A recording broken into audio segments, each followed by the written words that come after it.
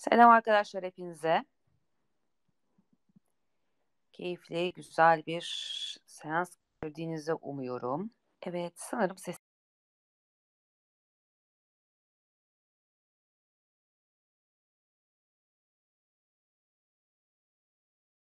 da 19.68 seviyesine gördüğümüzü hatırlatayım. E, 104.74'teyiz dolar endeks tarafına baktığımızda. Diğer yandan altın tarafında da 1077 e, gramdayız e, TL olarak. 1790 diğer taraftan ons başına geldiğimiz nokta olarak İsmail'e de geldi. Lardan ilkini ben sorarak rica de e, alacağız yayına ve orada da konuşacağız elbette. İsmail hoş geldin. Sol alttaki mikrofonu açalım. Teşekkür ederim. Rica ederim. Nasıl keyifler yolunda her sağ şey? Çok teşekkür ederim. Her şey yolunda. Piyasalar biraz kafa karıştırıyor ama çok da şey değil yani. Ee, büyük resimde bozulma yok gibi görünüyor. O yüzden e, sadece biraz böyle günlerde e, kalbimize mukayyet olmamız lazım. Yani evet. evet. Asıl aslında arkadaşların muhtemelen birazdan e, bağlanarak sormak isteyecekleri ilk sorudan ben başlayayım be. İlk soru ne olacak? İlk soru şu. E, madem bugün e, yüzde ikiye yakın bir değer kazancı olacaktı bu piyasada. Ne oldu da dün e, bu kadar e, ciddi bir volatilite yaşandı? E, bir al, bir ver, bir al, bir ver. Ne oluyor bu piyasaya diye başlayayım. Evet. Şimdi e, bizim piyasamız e, şimdi büyük resmin şablonunu çizemezsek burada her gün ayrı ayrı borsayı birbirinden bağımsız olarak izlediğimiz takdirde hiç yani bir anlam çıkaramayız. Yani önce e, bizim e, binanın e, şablonunu çıkartmamız lazım. Projesi elimizde olması lazım. Bunu bilemiyorsak e, nereye nasıl bir beton dökeceğiz, ne kadar demir kullanacağız bunları e, çözemeyiz. O yüzden e, büyük resim benim gördüğüm pencereden, tabi bu herkes için değişebilir ama e, bizim piyasalarımız e, burada e, Türkiye piyasaları özellikle e, yukarı yönlü yükselişini devam ettirmesi yönünde.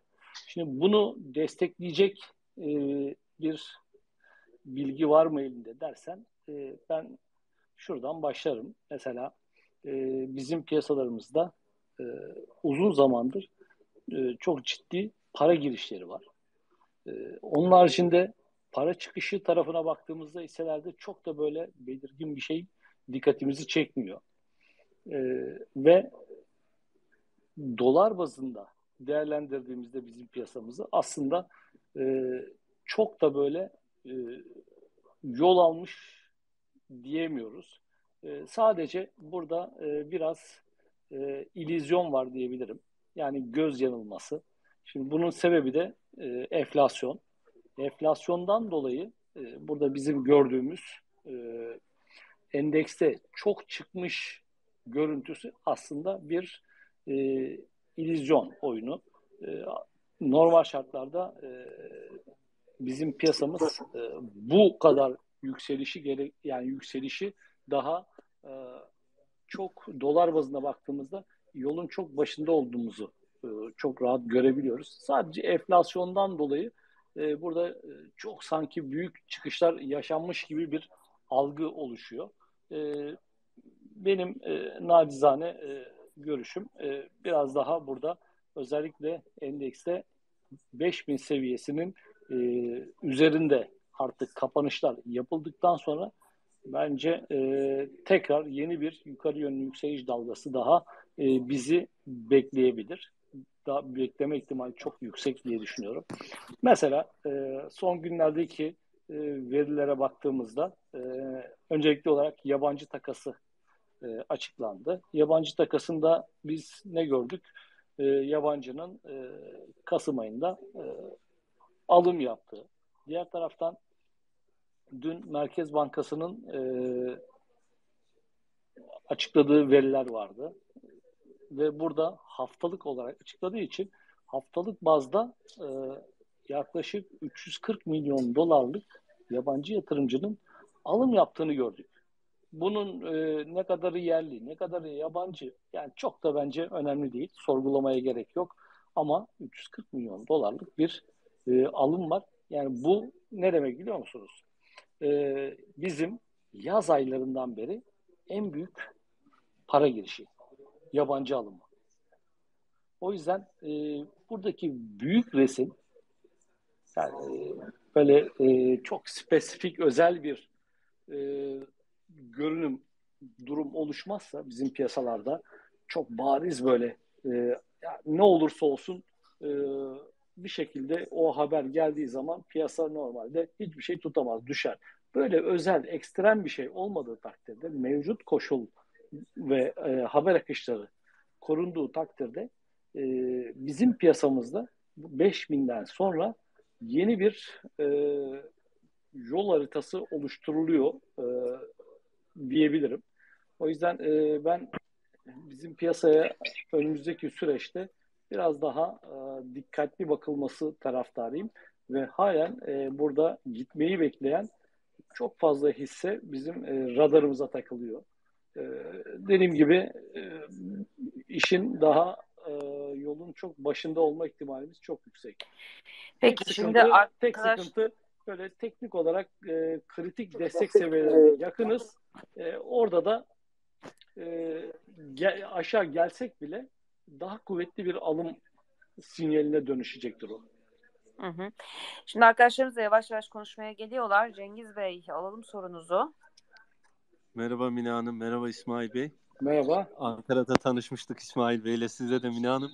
Ee, ben İsmail Bey Kozal hissesini soracaktım. Acaba düzeltmeyi bitirdi mi yoksa daha birazcık daha e, düzeltme yapar mı? Onun için bilgi alacaktım. Teşekkür ederim. Kolay yani, gelsin. Yani e, düzeltmeyi iki gün önce yaptı. Yani dün e, dün değil bir önceki gün düzeltmeyi sonlandırmış gibi görünüyor. İki günde endeks e, daha doğrusu hisse e, 360 seviyesinden e, dönüş yaptığı seviye olan 410 seviyelerine bir anda e, yükseldi. E, bu da düzeltmeyi tamamlamış olma ihtimalini arttırıyor. Ama burada dikkat etmemiz gereken en önemli nokta şimdi e, elinde e, bulunduranlar için e, taşımanın çok büyük bir sıkıntısı olmayabilir. Çünkü gelecek haberler çok güçlü. E, ama burada yeni maliyet yapacaklar için de e, örneğin daha önceki e, geçtiğimiz hafta dönmüş olan seviye döndüğü 418 seviyesi e, kırıldığı zaman burada ikinci e, yükseliş dönemi başlayacak. O yüzden burası e, kırılmadığı sürece şu an için yaşanan e, yukarı yönlü yükseliş e, bu geri çekişi, çekilişin e, bir e, tepkisi gibi görünüyor. Ama e, şu an mesela 460 seviyesi aşağı tekrar bir daha kırılırsa e, yani o zaman biraz sorgulamak lazım. E, ama normal şartlarda e, 418'in e, kırıldığını görmemiz lazım. Peki Rıza Bey buyurun.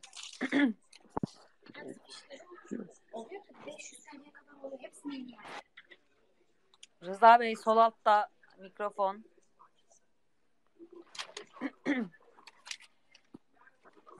Peki Rıza Bey'e şu anda ulaşamadığıma göre Bilal Bey'i alalım.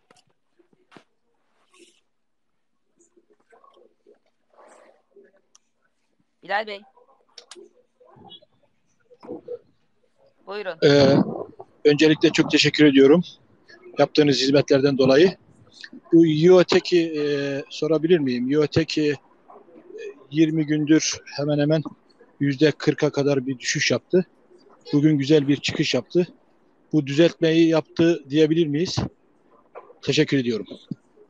Ee, evet, bunu deme şansımız yüksek. Hisse senedi e, yaklaşık olarak 27 seviyesinden neredeyse çok küçük molalarla birlikte e, 27'den 110 seviyesine kadar, 112'lere kadar yükselmişti. E, yüzde 400'ün üzerinde bir yukarı yönlü yükseliş. Daha sonra burada e, ikili tepe oluşturuldu ve devamında bir geri geliş. Lan bak buradan gözüküyor ya. Bir, bir geri ge- Tahtalı Gölü. Ee, Alo. Ben devam, devam edin İsmail. Bey. Rıza Bey'in mikrofonu açık kaldı. Arkasında ses geliyordu. Evet. Bak. Evet. E, hisse senedi buradaki ikili tepeden sonra düzeltmeye girmiş ve e, normalde düzeltmelerde e, 60 günlük ortalamaya kadar gelmiş olması bizim için e, sağlıklı bir düzeltme e, sinyali olarak algılanır.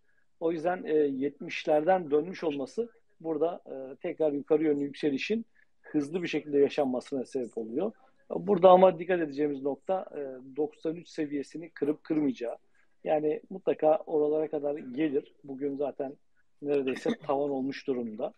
E, şirketin e, haber akışları gayet güzel. O yüzden 93'ten sonra burada ne kadar çok yataylaşırsa tekrar yeni zir- bir önceki zirveyi görme ihtimali o kadar artacak. E, o yüzden e, ben düzeltme ilk aşamada ilk düzeltmeyi tamamlamış olarak farz edebilirim bunu. Peki Rıza Bey buyurun. Merhaba Mine Hanım, merhaba İsmail Bey. Merhaba. Selamlar. Ee, şimdi e, şeyde yabancı e, yatırımcı sermaye girişi olduğunu söylediniz. Bunu da e, yurt dışı fonların yıl sonunu kapatmak için işte İstanbul borsası iyi gelişme gösterdi. Niye sizin fonunuzda e, hisse yok e, den, deneyeceği için müşteriler tarafından alındığı söyleniyor. Bu durumun yılbaşından sonra tersine dönebileceği ve S&P'de de %25'lik bir geri çekilme e, 2023'ün başında ilk çeyreğinde gibi bir yorum dinledim. Atilla Yeşilada'dan dinledim. Doğrusunu da söyleyeyim. Biraz önce dinledim. Yani bu bu şekilde olabilir mi? Bir de e, TÜPRAŞ'taki geri çekilme daha sürer mi? Onu soracak. Yani şimdi e, üçüncü bir şahsın yorumu üzerine ben yorum yapamam. E, öncelikle şöyle söyleyeyim.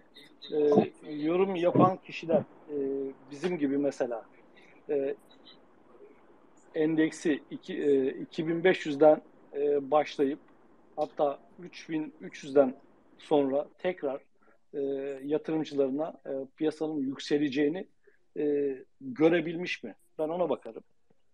Yani yorum yaptıktan sonra yani anı yorumlamak en kolayıdır. Ama önemli olan e, 3300 seviyesinde e, ben mesela benim açımdan bu bir tescillidir yani. Bizim yayınlarımıza baktığınızda biz e, 3300, 3400, 3500 buralarda inanılmaz derecede e, yatırımcılara e, e, hisse senedi piyasasını e, önerdik. E, ve halen önermeye de devam ediyoruz. Ama şimdi burada e, bu çıkışı görememiş birinin yorumu üzerine ben yorum üstüne yorum yapmam. Ben kendi yorumumu yapabilirim ancak. E, benim için önemli olan o. Burada bir düzeltme var şu anda kısa vadede. E, 5000 seviyesi e, savaş alanı gibidir. Yani 5000 seviyesinin üzerine tekrar çıkılırsa burada e, yabancı para girişlerinin de e, ile birlikte e, yukarı yönlü yükselişin 5500'lere doğru e, devam etmesi beklenebilir. E, ama 5000 kırılmadığı sürece e, burada olabilecek B, B planını da söyleyeyim size. E, dün biliyorsunuz 4700 seviyesi e, endeksi e, tuttu. Yani bu seviyenin altına inmiş olsaydı aslında e, 4500 4400 e, destek seviyelerinin kapısı aralanacaktı. Ama bu olmadı. Bu, bunun olmaması e, çok önemli. Şimdi burada bir daha dener aşağıyı. Yine buraya bakacağız. 4700. Yani bizim için böyle anı yorumlamak e, bu şekilde daha doğru. Yani e, 4700 bizim için kritik. Burası kırılırsa biraz e, dikkatli olmak gerekir. Çünkü oranın aşağısı 4400, 4500 oralar olacak. Ama şu anki buradaki yataylaşma belli bir paralel kanal içerisinde yaşanıyor. 4700 ve 5100. Şimdi bu kanalın içinde 5000'e doğru e, kapanışlar artmaya başlarsa burada yukarı yönlü yükseliş e, tekrar ivmelenme ihtimali yüksek. Çünkü halen ben e, alınabilecek o kadar çok fazla hisse e, benim radarıma takılıyor ki. Yani o yüzden e, çok da tedirgin olamıyorum. Halen mesela almak istesem burada e, sayısız hisse senedi e, karşıma çıkıyor yani. Peki Veli Bey buyurun. İyi günler İsmail Bey, iyi günler Emine Hanım. İyi Teşekkür günler. ederiz. Ee, İsmail Bey, e, Nuh Çimento hazır mı? İnşallah artık hazırdır. Teşekkür ederim. Sağ olun. Evet. E, bence hazırlanıyor. Az kalmış. E, şu anki bulunduğu mevcut seviyeler aslında e, hisse senedi açısından orta vadede cazip alım seviyelerine çok e, yakın. Mesela 95 fiyat seviyesinin üzerinde kalmayı başardığı sürece burada e, bence e, 125, 150 gibi e, fiyatlar e, önümüzdeki e, günlerde e, konuşulabilir. E, bu yüzden bu tarz hisselerde e, taşımadan e, bu hissedeki neticeye e, ulaşamazsınız. Yani şimdi buralar biraz böyle e, büyük çıkışlar öncesi e, hazırlık yerleri. Burada çok fazla çalkalanır. %10 yukarı gider, %10 aşağı gider ama sonuçta baktığınızda bir ay, bir buçuk ay boyunca olduğu yerde e, saymıştır. İşte bu resmin ardından e, hisse senedi mesela e, 107'lerin üzerine tekrar çıkmayı denediği andan itibaren e, geri dönüşü olmayan bir yolculuğa çıkmış sayılırız. O yüzden ben e, çok da böyle kötü görmüyorum. Benim de beğendiğim hisselerden bir tanesi. Peki buyursunlar Hüseyin Bey. İyi günler, kolay gelsin. Sağ olun. İsmail Bey, İsmail Bey kolay gelsin. Sağ olun, buyurun. Ee, Smart ilgili e, Smart G 140'lardan 90'lara geldi. Buradan e, ne düşünüyorsunuz? Bu dönüş ola- olur mu? E, bir bilgi almak istiyorum. Teşekkürler. Yani e, şimdi bu hisse senedinde aslında bizim hızlı bir şekilde değerleme yapmamız lazım. E, şu anki mevcut e, hissenin çarpanları piyasa ortalamalarının çok çok üzerinde. Öyle söyleyeyim. Yani şu anki mevcut fiyat seviyesine e, şimdi kıyaslama yapacağım. Oradan size bir fikir olması açısından. Mesela Sasa ile kıyas bile yapamıyorum. Ee, Sasa'nın e, katı daha pahalı gibi düşünün. Şu anki mevcut seviyeleri. Yani o yüzden e, burada e, hisse senedinde 135 ile e, 90 arasında e, normal şartlarda hisse senedinin e, yatay hareketini sürdürmesi beklenir. Ama e, yani piyasa yapıcısı gözüyle bakıyorum ben şimdi. E, böyle bir prim yaptırılan bir hissede e, ne kadar iyi haber gelirse gelsin e, mutlaka burada bir realizasyon karı cebe koymak gerekiyor. Ciddi bir prim yapmış. Çünkü hisse senedi Eylül ayında e, 20 liraymış. E, sonra 150 lirayı görmüş. Muazzam. Yani bu parayı hiçbir yerde kazanamazsınız. O yüzden e, ben biraz e, riskli görüyorum. Özellikle dikkat Fire. etmemiz gereken nokta e, Gayet 92 iyi biliyorlar ne seviyesi. anlatacağımı. 92'nin Şimdi- altında e, asıl orada yapacağı düzeltme seviyesi çok daha önemli. Bunun haricindeki fiyat seviyelerini ben sadece spekülatif olarak görüyorum.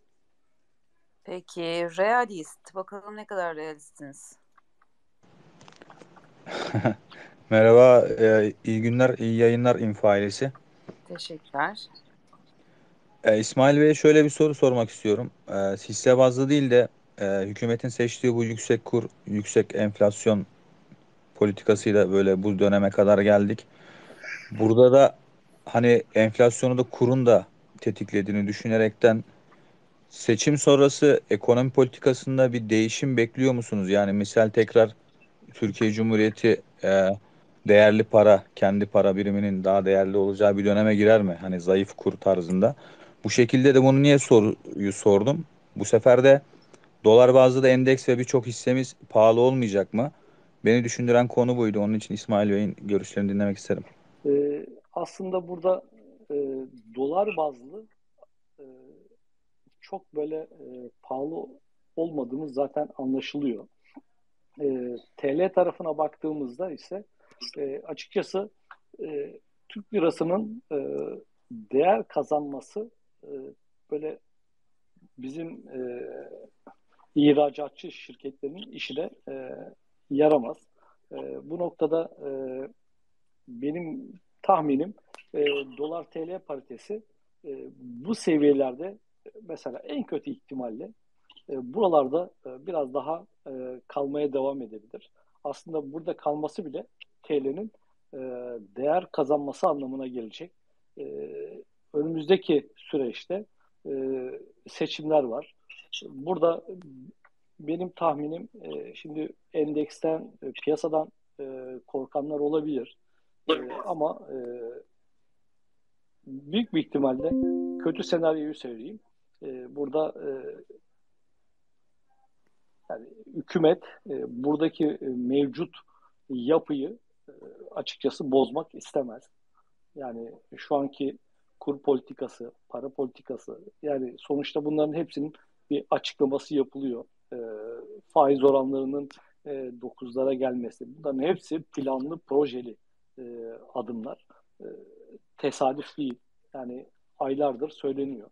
E, tek bizim burada e, göremediğimiz nokta e, bugüne kadar e, bizim e, faizleri ısrarla yukarı e, çıkartma e, şeyimiz yani ısrarımız e, özellikle e, dışarıya bakarsanız e, herkes faizlerin e, yükselişinin tek çare olduğunu halen savunuyor. Şimdi burada e, sizin neyin peşinde olduğunuzu e, iyi bilmemiz lazım.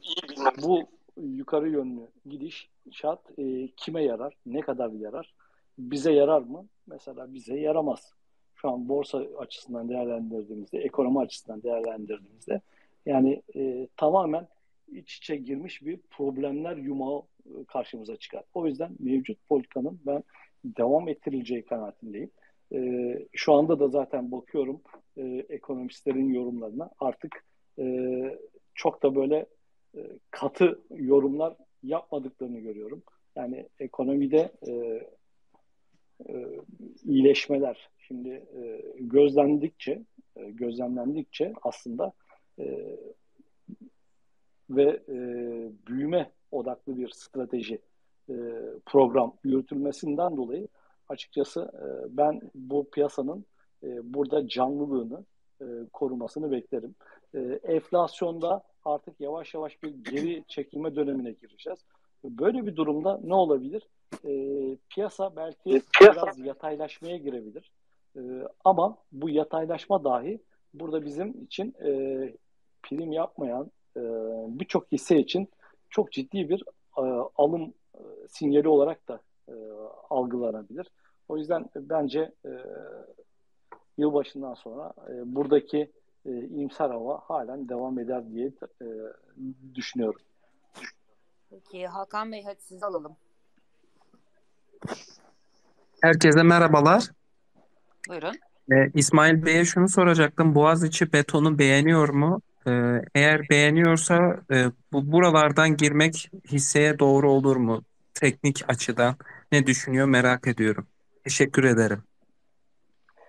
Ee, Boğaziçi beton. Bobet. Bana bir 10 saniye verin. Şirketin e, son 9 aylık karı fena değil. Ama yine de e, diğer birçok hisse senedine göre çok da e, ucuz olmadığını söyleyebilirim. Ama şimdi burada birkaç bir şeye daha bakacağım. E, hisse senedi zaten e, yukarı yönlü yükselişini sürdürüyor. Yani e, 10. aydan beri e, açıkçası 7 liradan 16'ya kadar yükselmiş. Yani burada e, çok da böyle olumsuz diyebileceğimiz bir tablo yok. E, bu trend düzeltmeler, sağlıklı düzeltmeler yaşandıkça e, yukarı yönlü yükseliş devam edebilir ama çok da e, ucuz olduğunu e, şu anda söyleyemem. Ama e, dediğim gibi burada mevcut bir yukarı yönlü yükseliş trendi var. E, para girişleri de var. Ya da e, bu hisseyle ilgili bir şekilde piyasa yapıcıları e, görevini iyi yapıyor. Dediğim gibi geçtiğimiz günlerde kısmi bir düzeltme yaşanmış 14.5'lara kadar. Oradan şimdi tekrar bir tepki yükselişi. E, dikkat edeceğimiz tek nokta 16 e, 30 seviyesi. Tekrar kırılırsa e, büyük bir ihtimalle 17 18'lere doğru e, yeni bir zirve denemesi oluşabilir. Aşağı yönde ise dediğimiz gibi 14.5'lara dikkat edeceğiz. Buranın altına hiçbir şekilde gelmemesi gerekiyor. E, altına gelmesi durumunda bu sefer e, aşağı yönlü düzeltme biraz daha ivme kazanabilir. Orada da e, 13'ler e, konuşulmaya başlanır. O noktada e, 14.5'u stop koyuyoruz. Yukarı yönde de 16 e, 40 civarı oralarda bizim için önemli bir direnç. Burayı tekrar kırıldığı takdirde kısa vadede yukarı yönlü tekrar bir yükseliş e, gözlemlenebilir. Peki Oğuzhan Bey. İyi yayınlar. Teşekkür ederiz. Ee, Şimdi hocam bir soru soracaktım ben. Son zamanlarda e, sosyal medyada tek çok konuşulmaya başladığı için RAL Yatırım Holding. Hangisi? RAL Yatırım Holding. Bir saniye.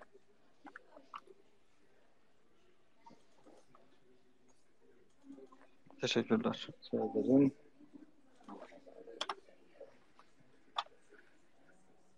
Ulan Yatırım Holding'in e, son 9 aylık bilanço kağıdı e, toplamda 93 milyon civarı. E, aslında çok da böyle kötü diyebileceğimiz bir noktada değil. Bir saniye grafiğine de bakmak istiyorum. E, grafiğinde de zaten e, istikrarlı bir e, belli bir trend çizerseniz mesela hisse senedine örnek veriyorum.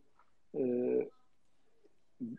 bu yılın başından itibaren e, bir trend çizdiğimizde o trendin e, dışına hiç çıkmamış. Yani altına hiç kırmadan yükselmiş.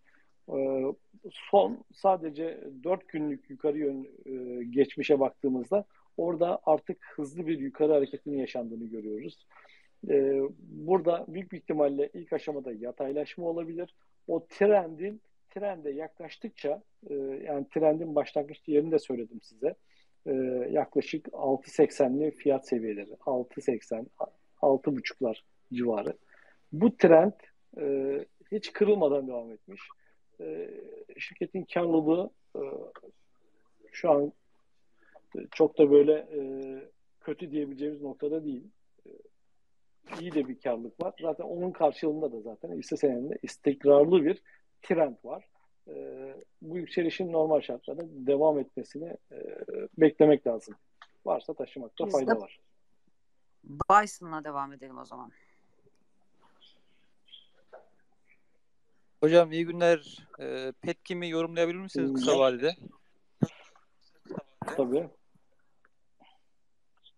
Petkim'e e, baktığımızda mesela öncelikli olarak son birkaç günü yorumlamakta fayda var.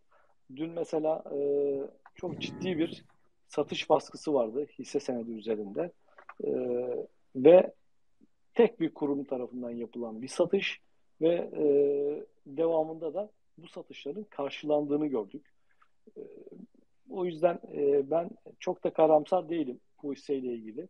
Açıkçası bu tarz e, hızlı düşüşlerin ardından normal şartlarda ben e, asıl bu düşüşün ardından e, önceki kıramadığı zirve seviyesinin çok daha kolay kırılacağı kanaatindeyim. Orası da 18,5.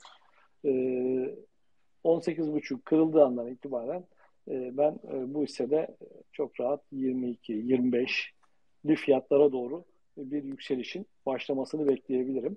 E, burada şu önemli. 18,5 kırıldıktan sonra artık e, yeni sıfır kilometre bir trendin başlangıcı olarak kabul edeceğiz bunu.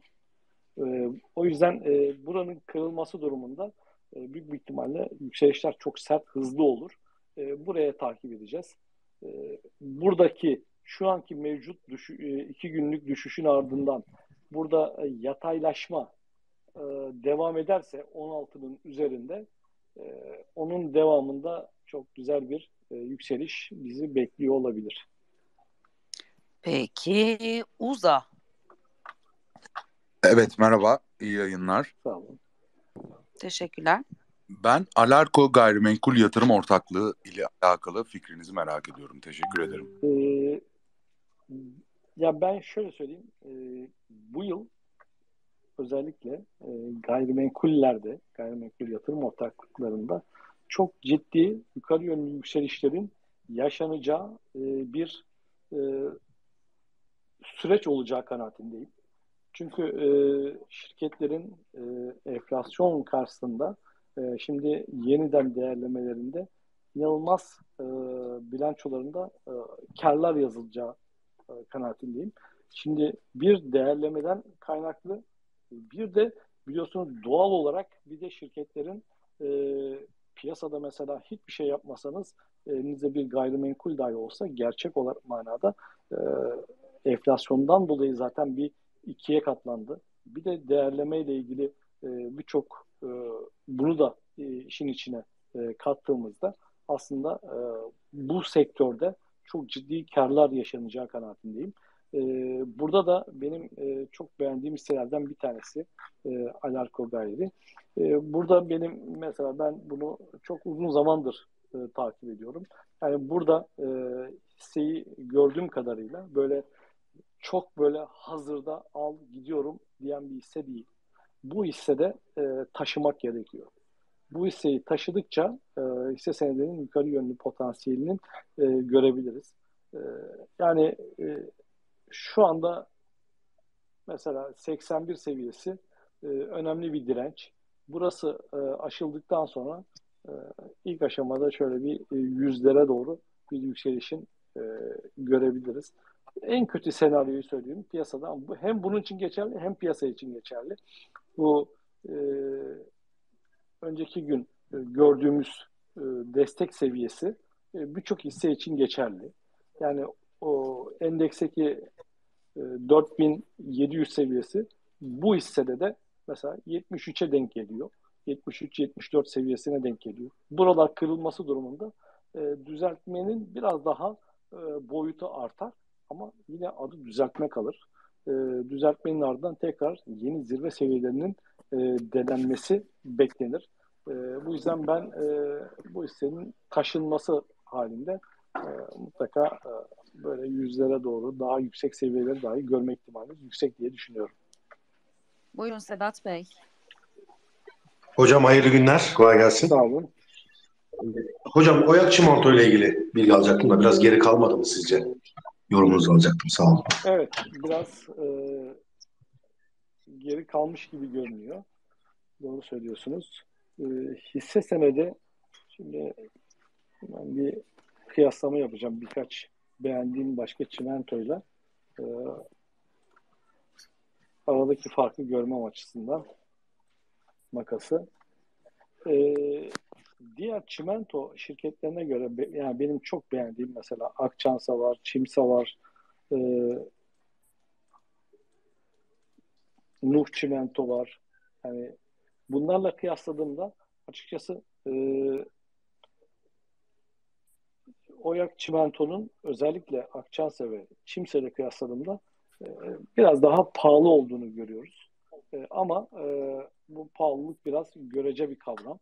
E, hisse senedinde e, 21.70'lerden çok hızlı bir şekilde e, 18'lere kadar bir geri çekilme olmuş. E, benim tahminim burada burası 18.30'lar ciddi bir dip.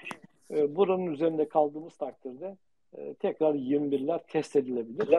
Ama e, dediğim gibi e, böyle beğendiğimiz Çimsa gibi, Akçansa gibi hisselerle ben e, çok da fazla kıyas yapamıyorum. E, biraz daha pahalı gibi ama normal şartlarda e, Oyak Çimento'nun burada yukarı yönlü yükselişinde ben açıkçası bekleyebilirim. buradaki geri çekilmeler tekrar yukarı yönlü yükselişin bir habercisi gibi görünüyor. Peki Onur Bey buyurun. Hocam iyi yayınlar. Sağ olun. Ee, ben hedef girişimi soracağım. Yayında bir arkadaşım da dinlemedi ama konuşmacı olamadı. Kendisi de Afyon Çimento'yu sorur. Eğer e, yorumlarsanız sevinirim. O şey mi yapıyoruz artık? konuşmacı olanlar konuşmacı olmayanlara sorularını mı iletiyor Onur Bey? Evet, Hedef e, girişimi- Mine Hanım aradılar. E, ne olursun Af- Afyon'u da sorun dediler. Şimdi e, Zaten hedefi e, soramayacağınız için hedefle ilgili yorum devam edelim. Evet. E, grup şirketi e, olması sebebiyle. E, diğer taraftan e, Afyon'a e, baktığımızda e, son e, bilançodaki iyileşme e, hisse senedinde bir miktar yukarı yönlü hareketi başlatmıştı. E, burada açıkçası e, orta vadede yukarı yönlü yükselişin devam etmesini biz teorik olarak bekleriz bu hissede. E, şu anki mevcut seviyeler e, kuvvetli destek seviyelerine çok yakın. Yani e, 7.40 seviyesi e, benim için kuvvetli bir destek.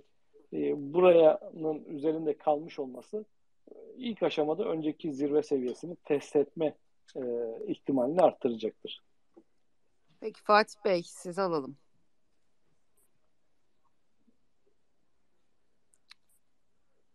Ümit Bey sizi alalım. Evet. Ha, İyi günler hocam. Geldim. tamam buyurun. Hocam ben P cilti soracaktım.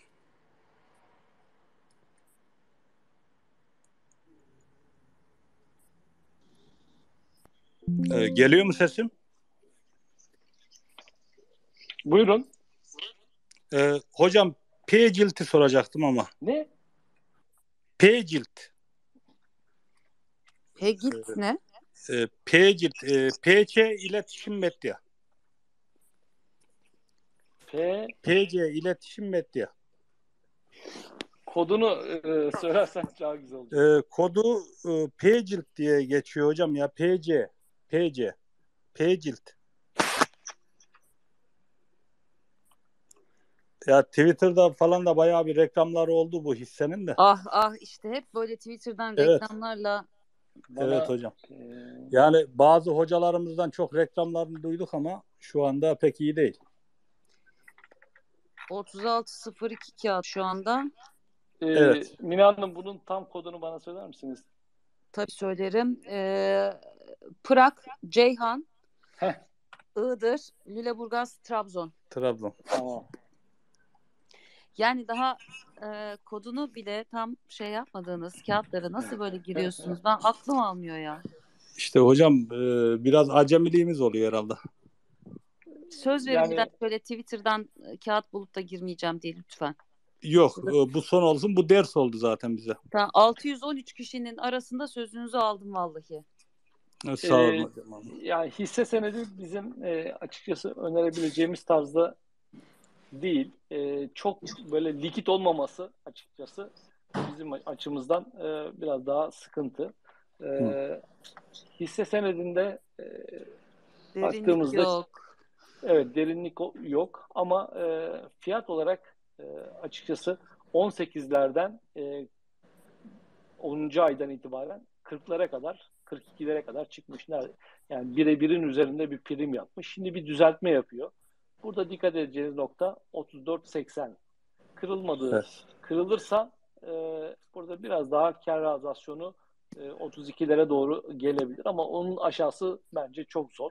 E, buradan normal şartlarda e, yukarı yönlü böyle 38 e, 39'lara doğru bir tepki mümkün gibi görünüyor.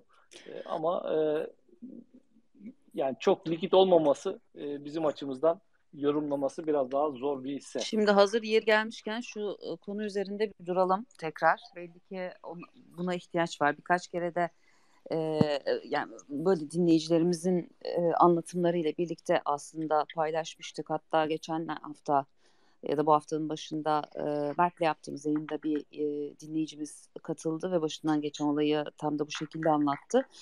E, yapmayın arkadaşlar. Yani Twitter'dan, Telegram'dan, Instagram'dan, oradan, buradan, sağdan, soldan işte dayınız, amcanız, teyzeniz, e, işte bir abiniz tutup da size e, hisse söylemez. Bu hisseyi söylüyorsa bilin ki o hissede bir mevzu var. Bir hikaye dönüyor demektir. Hisse önerisinde bulunacak olanlar portföy yönetimi yapanlardır. Ee, bir yerde lisanslı olarak çalışanlardır. Çünkü bunun için maaş alır bu insanlar. O yüzden söylerler. Yoksa e, yani aklınız alabiliyor mu? Biri gelecek, orada bir para var. O parayı tek başına e, alabilecekken gelecek size söyleyecek. Niye söylesin? Yani neden yapsın mesela böyle bir şeyi? Değil mi İsmail Bey? Bence de. Önce o soruyu sormak lazım. Neden? Neden, Neden ya? Neden? Oradaki Kendin bütün... yap. Kendin E, yap. evet yani bütün parayı oradan alabilecekken ondan sonra hayatımın geri kalanına e, gezip tozup eğlenip e, yan gelip yatarak geçirebilecek bir para orada duruyor. Ben de gelip seninle paylaşıyorum bunu durduk oturduk yere. İhsan Bey buyurun. İyi yayınlar Mine Hanım, İsmail Bey. Ee, Ege Endüstri ve Tüpraş sormak istiyorum ben size. Hangisi? Ege Tüpraş. Endüstri, Egean ve Tüpraş. Ee, ikisi de orta vadede e, bizim e, yukarı yönlü yükselişin devamını beklediğimiz hisselerden bir tanesi. Ee, Tüpraş'ta öncelikle e, şu anda bir düzeltme var. Özellikle hissenin e, 500 seviyesini e, kıramamış olması hatta 490'ları kıramamış olması neticesinde şu anda bir e, düzeltme salınımı yapıyor. E, burada dikkat edeceğimiz nokta e, 420 seviyesi. E, 420'lerin üzerinde kalıp kalmayacağına bakacağız.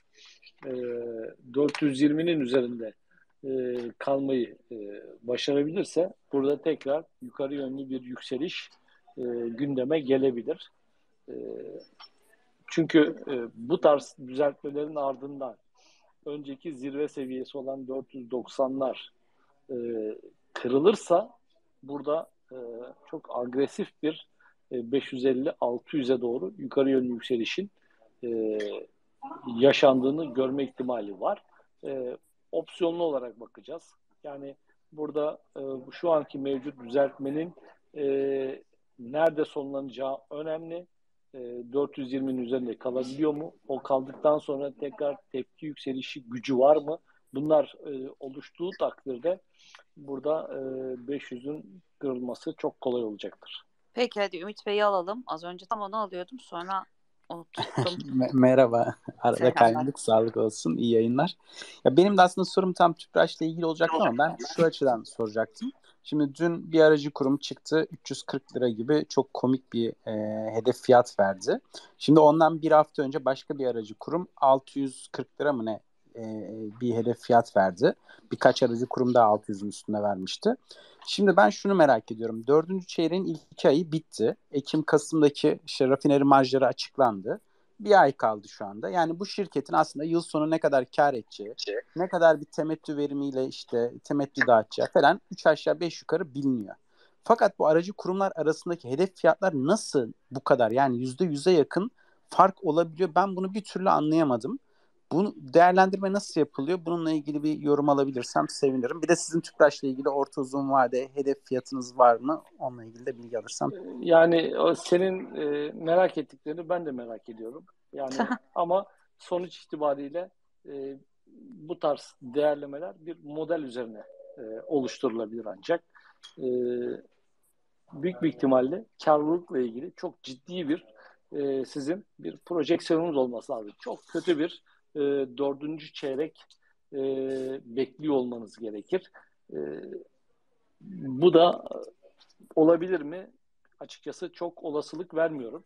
E, ama e, dördüncü çeyreğin e, üçüncü çeyrek kadar e, iyi olmama ihtimali biraz daha yüksek gibi görünüyor. Ama yine de e, hissenin e, değerleme oranlarına böyle yüzeysel e, baktığımızda yani çok da böyle e, absürt bir e, fiyat göremiyorum. Tam tersine e, şu anki mevcut seviyelerin e, halen çok e, ucuz olduğu kanaatindeyim. Yani e, öz sermayesinin e, yarısından e, fazla kar etmiş bir şirket var. O yüzden çok olumsuz bir e, yorum yapamayacağım buna. E, yani kurumların bu farklılığını açıkçası e, o raporun detaylarına bakarak ancak e, anlayabiliriz. E, hangi senaryo üzerine böyle bir e, fiyatlama yapmış. E, ama yani ben çok da açıkçası merak etmiyorum.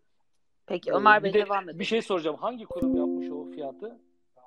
Ee, konuşmacıların yenilerini ekleyebilmek için sorusunu soranı konuşmacılıktan çıkartıyorum. Tamam. Tamam. Dolayısıyla onu öğrenemeyeceğiz. Ömer Türkoğlu. Merhabalar, kolay gelsin İsmail Bey. İyi yayınlar. Merhaba. Merhaba. Ee, Euren, e, bir orta vade yorumunuzu alabilir miyiz? Tabii ki. Europen e, bugün yüzde yedi e, yüzde yedi buçuk primli. E, hisse senedinin e, bilanço açısından böyle çok da kötü değil e, bilançosu. E, ama e, böyle bilançonun iyi olduğu hisseler genelde arkadaşlar e, primli oluyor. E, yani prim yapıyor yani o hisseler. Burada da e, 6. aydaki halka arz fiyatlarının üzerine neredeyse e, 1'e 4 prim yapmış. Yani şurada e, 5 aylık bir süre içerisinde bayağı ciddi bir e, prim ve e, o yüzden çarpanlar bir miktar yüksek. Piyasa ortalamalarının e, çok üzerinde. Şimdi burada e, bunu e, absorbe edebilmesi için e, bu şirketin çok müthiş bir kar açıklaması gerekir. Şu anda daha e, o konuda çok fazla bir nasıl bir kar açıklayacağı konusunda bir fikrim yok. E, ama e, bu bilanço performansını sürdürme ihtimali teorik olarak yüksek. E, burada dikkat edeceğimiz nokta biraz e, buz pisti gibi bu saatten sonra. 18.84'ün e, kırılması çünkü orayı biraz fazla çarpmaya başlamış, kırılamamış.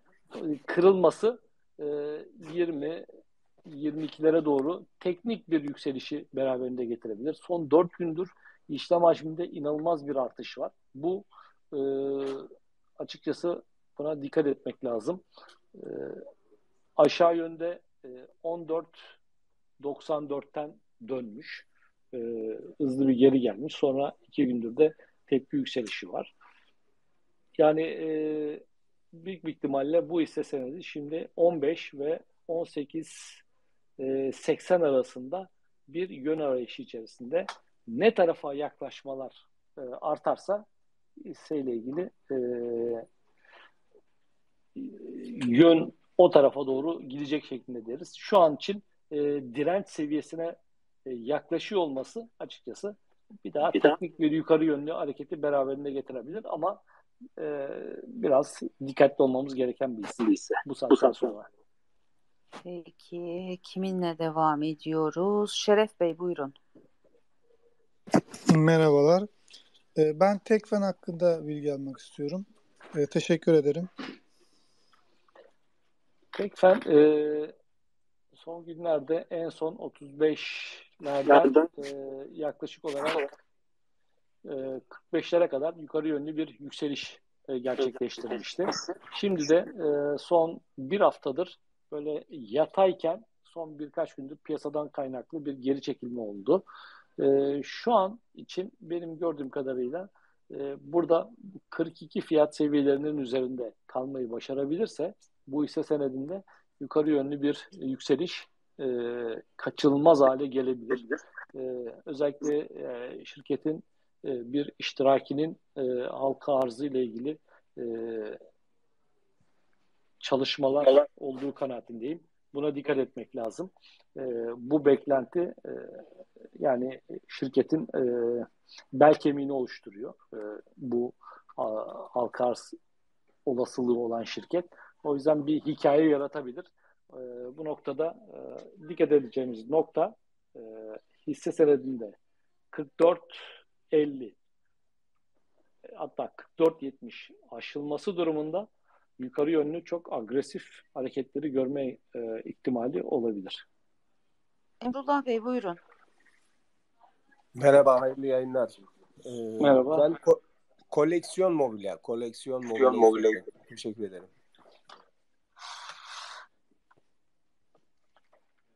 Saniye.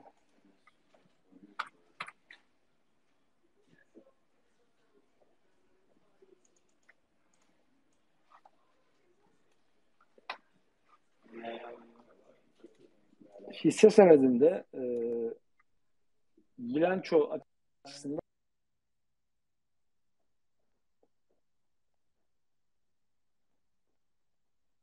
e, ama e, piyasadaki iyimserlikle birlikte hisse senedinde de e, yukarı yönlü yükselişin e, ana trendin devam ettiğini görüyoruz.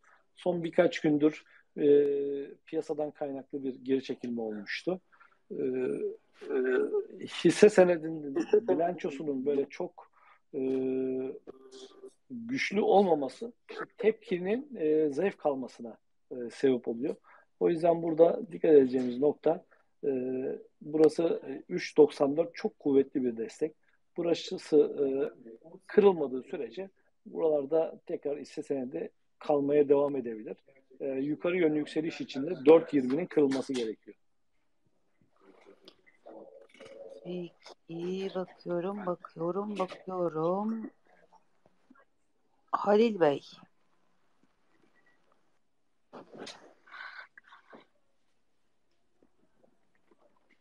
Sol alttaki mikrofonu açalım hadi değil mi? Kolay gelsin. Sağ olun. Tümoson hakkında bir bilgi alacaktım. Ee, 4 aydır e, yatay bir seyirde. Öncesinde yükseldi ama e, onunla yükselen hisse senetleri düzeltmesini yaptıktan sonra yoluna devam ediyor. Ama bunda bir sorun var. E, bugün alan kurumlar yarın satışa geçiyor. Her gün aynı şeyler tekrarlanıyor. Evet. E, hisse senedinde evet dediğiniz gibi yatay bir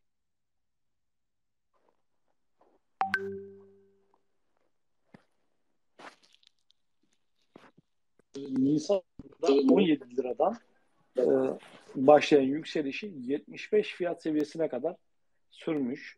E, o yüzden e, bu yükselişin 17-75 yükselişinin bir e, realizasyonu da bu şekilde yatay oluyor arkadaşlar. Bilançonun iyi olması aslında e, bu hisse senedinde yatay bir düzeltmeyi e, beraberinde getiriyor.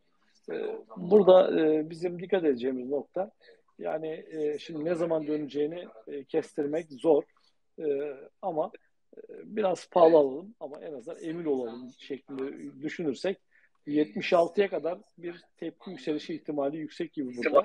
E, 76'yı kırabiliyorsa, kıracak bir para girişini e, görebiliyorsak işte o noktada hisse senedini e, tekrar e, ikinci roundun başladığını e, düşünebiliriz. 76 seviyesi burada e, anahtar yer. Peki şöyle bakıyorum. Bu arada e, odada olup bizi takip etmeyenler var. Şimdi fark ettim. Takip edenlerden alacağım. Mesela Tunç Bey. Buyurun.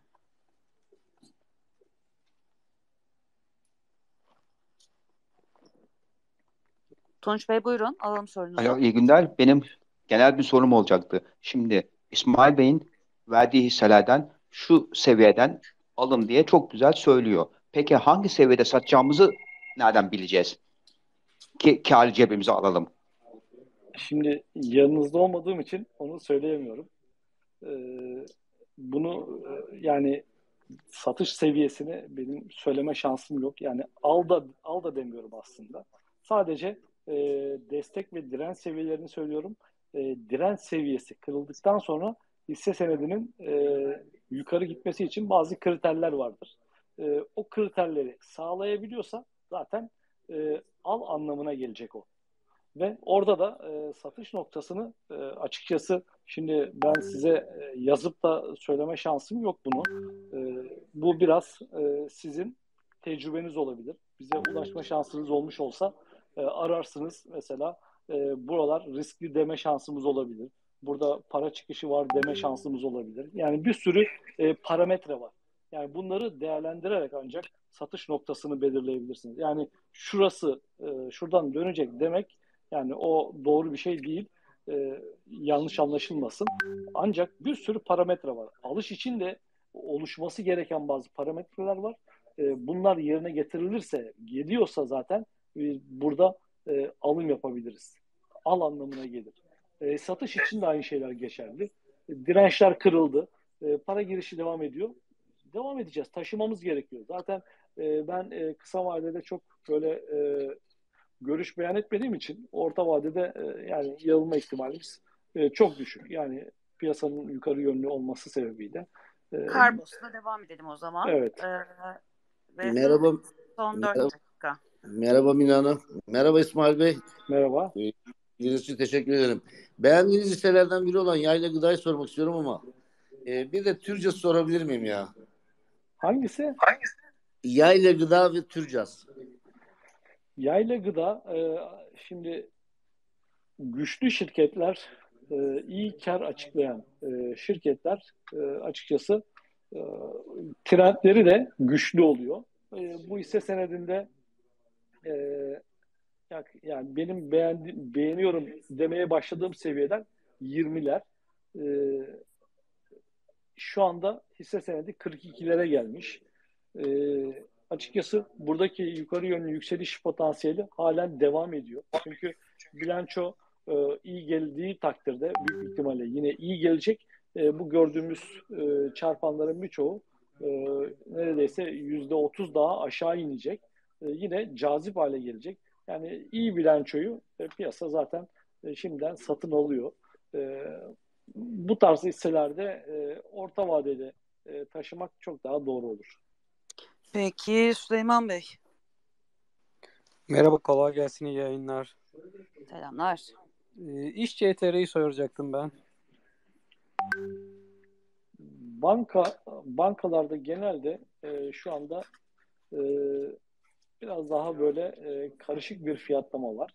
E, yatay bir bantta e, böyle hem zir e, dirençler hem de destekler e, test ediliyor. E, ama e, dediğim gibi burada dikkat etmemiz gereken direnç seviyesi bizim için önemli şu an için. Buranın e, test edilmeye başlaması yani burası da 10.80'lere yaklaşık tekabül ediyor.